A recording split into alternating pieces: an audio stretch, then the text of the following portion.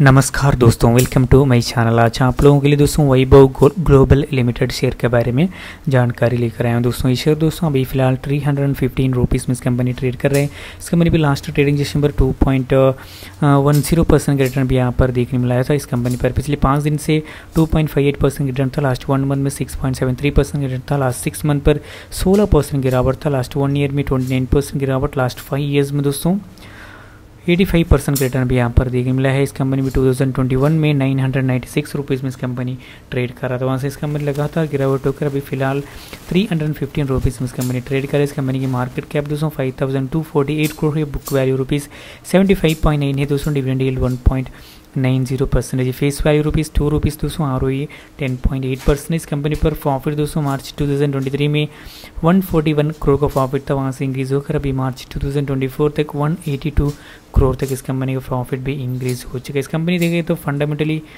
Good stock ही दोस्तों आने वाले टाइम में अच्छे खासा ग्रोथ दिखा सकती है लॉन्ग टर्म के हिसाब से। ठीक है, आप लोग सोच कर निवेश करो दोस्तों।